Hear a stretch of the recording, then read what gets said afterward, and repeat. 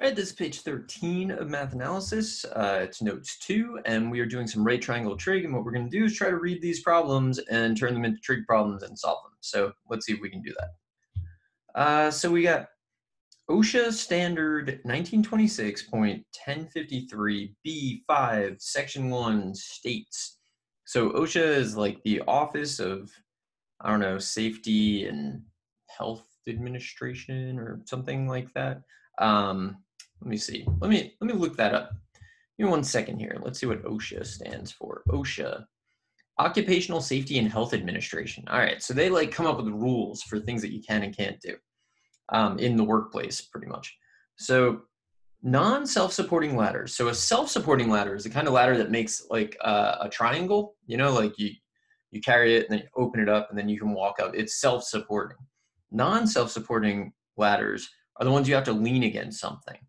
So this says, non-self-supporting ladders shall be used at an angle such that the horizontal distance from the top, horizontal distance from the top support to the foot of the ladder. So the horizontal distance from the top support to the foot of the. Let's start drawing.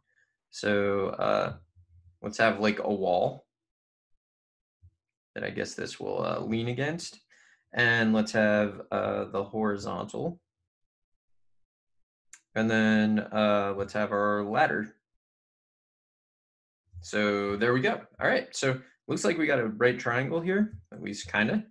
Um, okay, so horizontal distance from the top support to the foot of the ladder. So that would be uh, this. So I'm gonna call it X, right? Because the top support is uh, directly above like where the right, this point right here, here, uh, the horizontal distance from the top support to the foot of the ladder is approximately one quarter the working length of the ladder. Okay, so if this is x, so this I made x. Now this is supposed to be one fourth the working length of the ladder. The working length of the ladder is the ladder.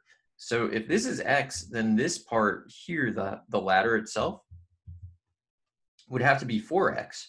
So let's see if that makes sense. So if the ladder was 20 feet long, then at most x could be one fourth of that, so five. So I think it works. Um, the distance along the ladder between the foot and the top. Okay, so it's explaining the working length. Assume the ladder is against a vertical wall. Find the angle of elevation of the ladder from the horizontal. So we are looking for uh, this. We're looking for that angle. So uh, what do we have? We have that uh, we have the adjacent side and we have the hypotenuse. So adjacent hypotenuse feels like cosine. So I'm going to say that the cosine of theta is equal to uh, adjacent, which is x, over hypotenuse, which is 4x. So cosine of theta is 1 fourth. All right. So if, uh, if that's the case, then theta should be the inverse cosine of 1 fourth, which is great, except I feel like when you're working, uh, you probably aren't thinking of the inverse cosine of 1 fourth, like you're about to climb a ladder. So let's get a decimal on that, and um, let's see let's see how steep this can be. Um, so I'm going to share the calculator. See how this goes. Sometimes this uh, sometimes this doesn't go well. Uh, all right, so I'm in degrees. I want to be in degrees, I think it feels like the most sensible thing for when you're trying to like estimate. So I'm going to do the inverse cosine. So one thing that I can do is I can type arc cosine. There's a reason it's called that, but arc cosine is another way of saying inverse cosine. And actually, that is such a common thing to do that watch what happens when I press, uh, I'm gonna press control enter. It changes it into inverse cosine.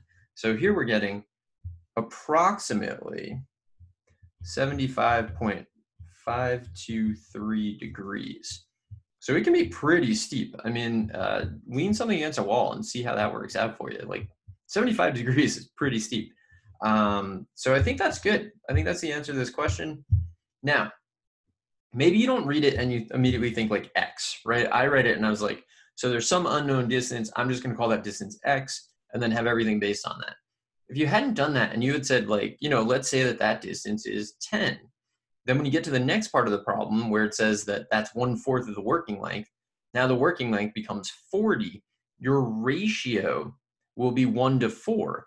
That's how trig works, all based on um, similar triangles, basically. So it shouldn't really matter what x is. And you can see the way that we built this, um, because of the way we did it, it actually doesn't matter what x is.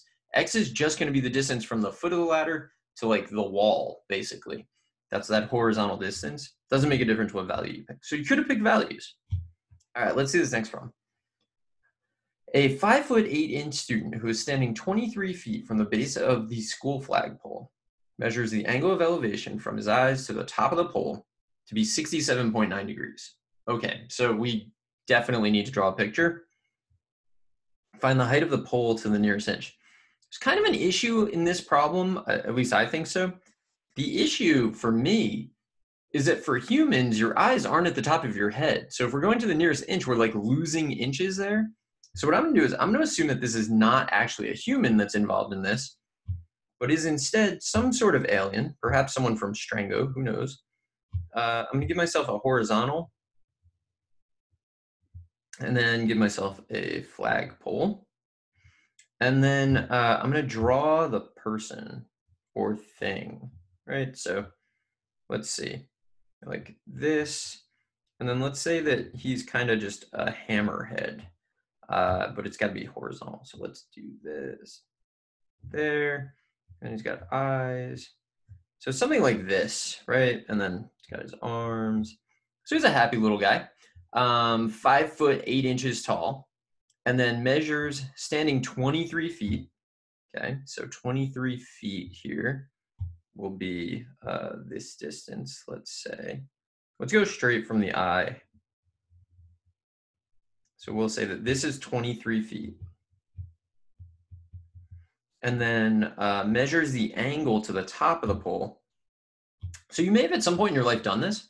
Uh, you use a, a little device called a clinometer that you can make out of like a uh, a protractor and a straw and like a piece of string with like something tied to it and you just kind of like tilt it and you can measure the angle. Uh, it's kind of a neat thing to do. Uh, all right so this angle here that we have found drawn so that's 23 feet let's see. This angle is going to be 67.9 degrees.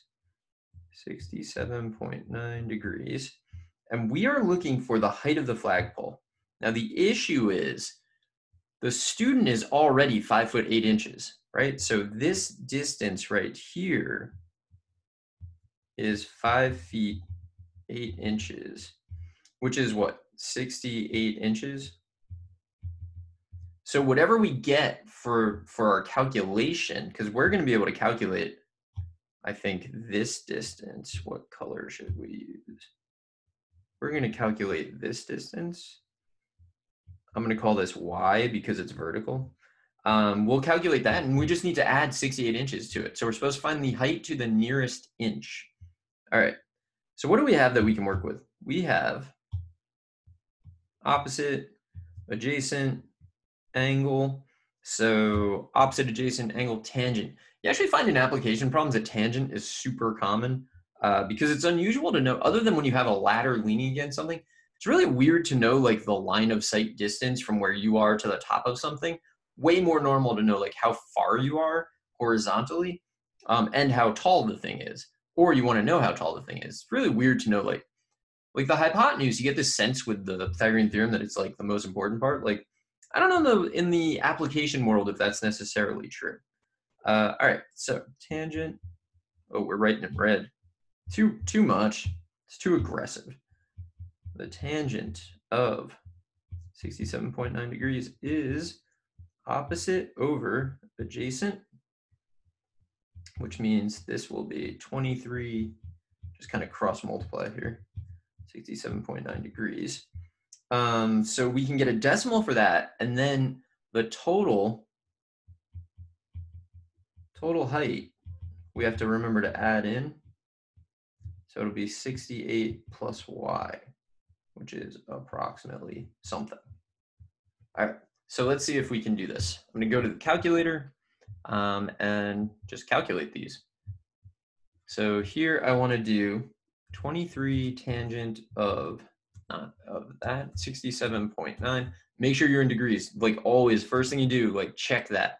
So yeah, we get this. And then I want to add to that uh, 68. So 124.642, but it says to the nearest inch. So I'm going to say this was 57 inches. 57 inches? That doesn't make any sense. Oh my gosh, this is in feet. So this is feet. This is 56.6422 feet. Okay, so this, let me write that down 56.6422 feet. I'm going to convert feet into inches. That did, yeah, because it like didn't really make sense to me. Like, like why is the person 68 of those things tall and then the flagpole's only 56? Like, nah, no. Watch your units. So this is feet, so I'm to multiply by 12 to get inches. 679.706 inches. 679.706 inches. Okay, so what we're going to do is we're going to add that, add that to 68, and that'll give us our answer to the nearest inch. So 7, 747.706. That like feels more reasonable. Um, 747 seven, okay, 0.706, but we're supposed to go to the nearest inch. So let's say 748 inches. Okay, let me show you something you can do on here. So we could convert this to feet by just basically uh, dividing by 12, right? Um, and get like 62.3 feet, pretty tall. Uh, let's go back to this answer that we have. And I'm gonna press menu. I'm not, I'm gonna press catalog, catalog. Um, and then option three, is really cool. So option three, conversion assistant. So pick conversion assistant and we want to convert length from what? We want to convert from inches into feet. And let's see what happens. So we're gonna let the calculator convert this number of inches into feet. And you can see that it does it for you. This is really cool. It's one of the features of the calculator you should definitely learn to use it. You can, there's so many options, so many. So if we go back in, you know, you can look through them. So we got all these constants. Um, we have lengths. You know, this is like, this is a really good deal, uh, especially I think when you're in like chemistry, knowing how to use this is super useful.